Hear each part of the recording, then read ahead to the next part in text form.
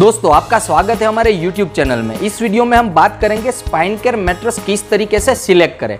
क्योंकि जब आप स्पाइन केयर मेट्रस परचेस करने मार्केट में जाओगे, अगर शोरूम में जाते हो या या तो फिर ऑनलाइन मैट्रेस परचेस करने जाते हो तो आपको varieties of spine care mattress दिखने को मिलेंगे। और सभी ऑलमोस्ट सभी मैट्रेस के ऊपर लिख के भी आता है कि रिकमेंडेड बाय डॉक्टर मगर कौन सा मेट्रस आपके लिए सही रहेगा? जब आप स्पाइन केयर मैट्रेस देखते हो तो आपको मेमोरी फोम वाले मैट्रेस भी देखने को मिलेंगे बॉन्डेड भी फोम वाले भी मिलेंगे सॉफ्ट फोम वाले भी मिलेंगे पीयू फोम वाले भी मिलेंगे। वेराइटीज ऑफ़ फोम वाले स्पाइन केयर मैट्रेस आपको मार्केट के अंदर या ऑनलाइन देखने को मिलेंगे। मगर आपके लिए कौन सा स्पाइन टेक मैट्रेस बेस्ट है और वो मैट्रेस किस तरीके से सिलेक्ट करें? इस वीडियो में हम इस टॉपिक के ऊपर बात करेंगे। ताकि जब आप मैट्रेस घर पे लेके आओ स्पाइन केयर मैट्रेस तो आपको वो प्रॉपर सपोर्ट दे और आपके जो स्पाइन प्रॉब्लम है, उसमें रिलीफ दे। दोस्तों फोम और फर्निशिंग की अपडेटेड इन्फॉर्मेशन के लिए आप हमारे चैनल को सब्सक्राइब कर सकते हैं। तो दोस्तों, आइए स्टार्ट करते हैं। बैक पेन मैट्रेस लेने से पहले, आपको पहले अपना सेल्फ एनालिसिस करना है। किस तरीके का सेल्फ एनालिसिस तो उसमें आपको पहले लिखना है आपका वेट क्या है, आपकी एज क्या है, आपका स्लीपिंग पोजीशन कौन सा है। और आपको प्रॉब्लम क्या है? प्रॉब्लम मतलब कि आपको लोअर बैक का प्रॉब्लम है अपर बैक का प्रॉब्लम है या तो फिर आपको ब्लड सर्कुलेशन रिलेटेड प्रॉब्लम है क्योंकि ब्लड सर्कुलेशन रिलेटेड प्रॉब्लम भी इंडिया में बहुत ज़्यादा देखने को मिल रहे हैं। दोस्तों स्लीपिंग पोजीशन की बात करें तो आमतौर पर चार तरीके की स्लीपिंग पोजीशन रहती है। एक होती है आ, सीधा सोते हैं लोग जिसको बैक स्लीपर बोलते हैं। दूसरा होता है साइड स्लीपर जो साइड में सोते हैं। तीसरा होता है लोग उल्टा सोते हैं जिसको बैक स्लीपर कहते हैं। इन तीनों की कॉम्बिनेशन वाली एक पोजीशन होती है, जो तीनों का मिक्सिंग होता है, जिसको मिक्स स्लीपर भी बोलते हैं। ये पोजीशन सबसे ज़्यादा होती है। आमतौर पे 90 परसेंट लोग ये साइड में भी सोते हैं, उल्टा भी सोते हैं, सीधा भी सोते हैं। तो इस तरीके की पोजीशन रहती है।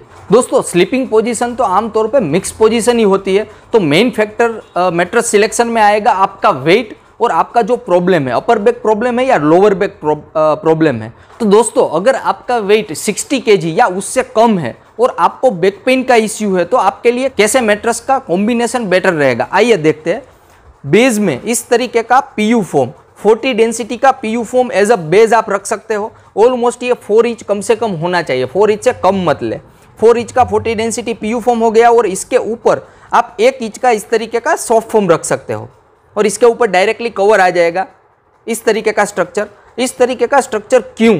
तो उसका एक ही रीज़न है। आपका जो बैक पेन का प्रॉब्लम है, इस तरीके से। इसमें प्रॉब्लम होगा, एक लोअर बैक का प्रॉब्लम हो सकता है और अपर बैक का प्रॉब्लम हो सकता है।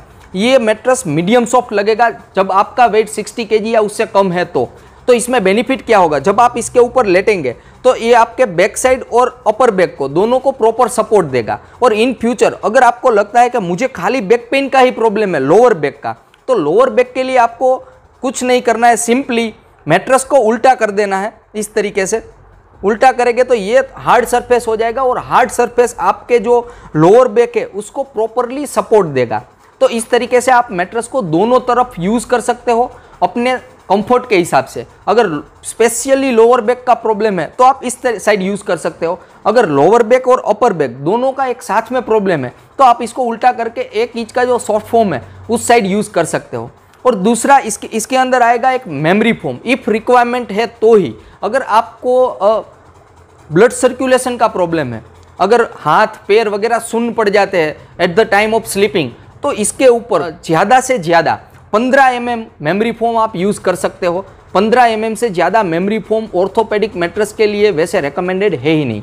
तो 15 एम mm से ज़्यादा यूज़ ना करें। अगर प्रॉब्लम है तो ही मेमरी फोम यूज़ करें अदरवाइज़ मेमरी फोम ना ही यूज़ करें।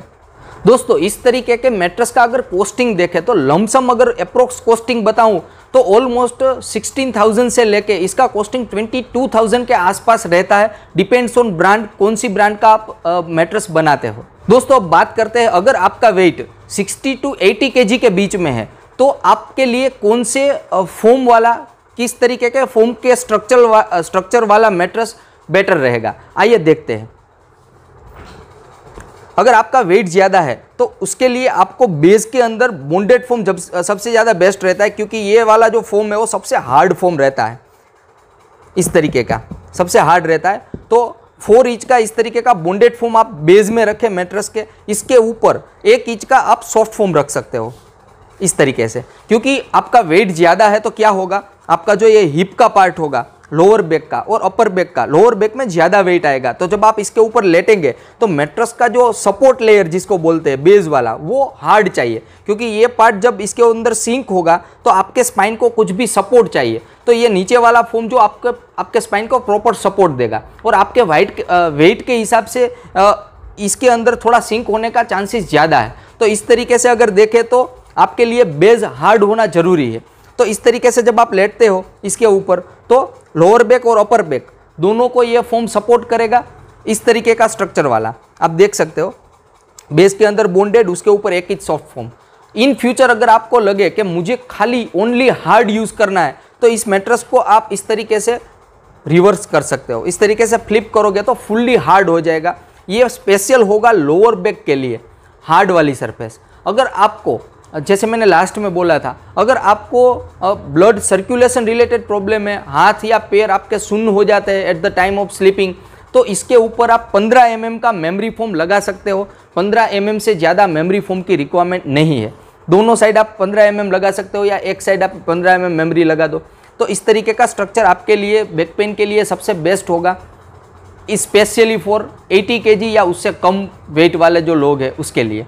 इस तरीके का जो फोम का स्ट्रक्चर है, वो आमतौर पे बहुत सारी ब्रांडेड कंपनी के रेडीमेड मेट्रेस भी आते हैं और इस तरीके का मेट्रेस आप असेंबल करवा सकते हो या कोई भी दुकानदार है, वहाँ पे जाके आप बनवा भी सकते हो। अगर इसके कॉस्टिंग के बाद, बात करें तो ऑलमोस्ट क्वीन साइज़ का अगर है तो इसका कॉस्टिंग ऑलमोस्ट सिक्सटीन थाउज़ेंड से लेके ट्वेंटी फाइव थाउज़ेंड तक रहता है। अगर इसके अंदर मेमोरी फोम जो पंद्रह एम mm का डालते हैं तो इसका कॉस्टिंग थोड़ा ज़्यादा बढ़ जाता है।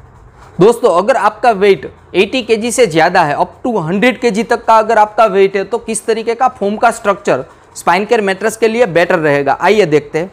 आपके लिए सेम और बेस तो बॉन्डेड फोम ही बेटर रहेगा। इस तरीके का बॉन्डेड मगर इसकी जो डेंसिटी है, वो ऑलमोस्ट 100 डेंसिटी या इससे ज़्यादा की डेंसिटी की आपको रिक्वायरमेंट पड़ेगी। एज पर योर वेट अगर आप कम डेंसिटी का बॉन्डेड लगाते हो तो हो सकता है एक साल के अंदर इसके अंदर खड्डा पड़ जाए या सिंक हो जाए। तो आपको 100 डेंसिटी या उससे ज़्यादा डेंसिटी का बॉन्डेड फोम यूज़ करना है। और इसका जो थिकनेस है ऑलमोस्ट चार इंच से लेकर पाँच इंच तक का थिकनेस बॉन्डेड फोम का रखना है। इसके ऊपर आपको एक इंच का 32 डेंसिटी का एच आर फोम लगाना है, इस तरीके से। एच आर फोम 32 डेंसिटी का एक इंच का इसलिए मैं इसमें बता रहा हूँ as compared to soft foam आपका जो वेट है, उसके हिसाब से 32 डेंसिटी का एच आर फोम भी आपको सॉफ्ट फोम जैसा ही फील देगा।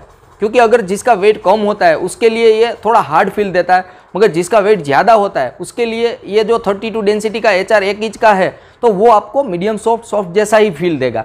तो ये जो फोम है, वो आपको एज अ कंफर्ट लेयर के लिए यूज़ होगा, और बेस का ये बॉन्डेड फोम है, वो आप एज अ सपोर्ट लेयर के लिए यूज़ कर सकते हो। जब आप इसके ऊपर लेटते हो तो सेम आपका जो हिप का पार्ट है और आपका जो अपर बैक का पार्ट है उसको इस तरीके का मेट्रेस प्रॉपरली सपोर्ट देगा। और सेम अगर आपको अपर बैक का ही खाली प्रॉब्लम है और आप, आपको हार्ड सरफेस यूज़ करना है तो सेम मेट्रेस को आपको खाली फ्लिप करना है इस तरीके से जब आप फ्लिप करे करोगे। तो यहाँ पे जब आप लेटोगे तो ये आपकी लोअर बैक है उसको प्रॉपर तरीके से सपोर्ट देगा। और आपको इसके अंदर प्रॉपर कंफर्ट मिलेगा। तो ये मेट्रेस भी आप दोनों साइड यूज़ कर सकते हो। दोस्तों, इस वीडियो में हमने आपको तीन तरीके के मेट्रेस का कॉम्बिनेशन दिखा है। तीनों कॉम्बिनेशन ऐसे है कि मेट्रेस को आप फ्लिप कर सकते हो। दोनों, तीनों मेट्रेस आप दोनों साइड यूज़ कर सकते हो। उसका एक ही बेनिफिट है कि अगर आपको एक तरीके, एक साइड का सरफेस पसंद नहीं आता या कंफर्ट नहीं देता है तो आप इसको फ्लिप करोगे तो हो सकता है दूसरी साइड आप कंफर्टेबल फील करो। इससे क्या होगा?